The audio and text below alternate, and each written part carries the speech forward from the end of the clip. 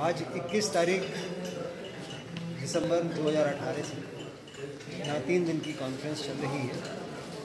शाम को चार बजे इनाग्रेशन हुआ, जो कि डॉक्टर जी के अनेजा साहब प्रिंसिपल और डीन एस मेडिकल कॉलेज ने किया।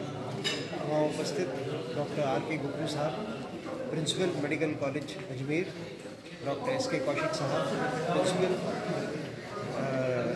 उदयपुर के मेडिकल कॉलेज के और डॉक्टर मुकेश शर्मा मौजूद थे। डेलीगेट्स करीब सौ के आसपास हॉल में मौजूद थे, जो काफ़ी दूर दराज एरिया एरिया से हिंदुस्तान के आए हैं।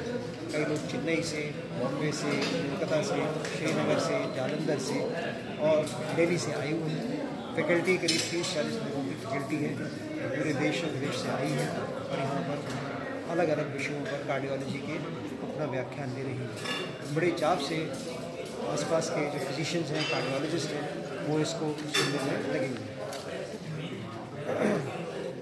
यहाँ पर जो है मेडिकल स्टूडेंट्स के लिए क्विज़ मेडिकल स्टूडेंट्स के लिए ईसीजी और ईसीजी बाय मास्टर्स इन सब का आयोजन किया जा रहा है। पोस्टर प्रेजेंटेशन है पोडियम प्रेजेंटेशन है डिबेट्स हैं और व्याख्यान इसका सब लोग से आनंद उठा रहे हैं।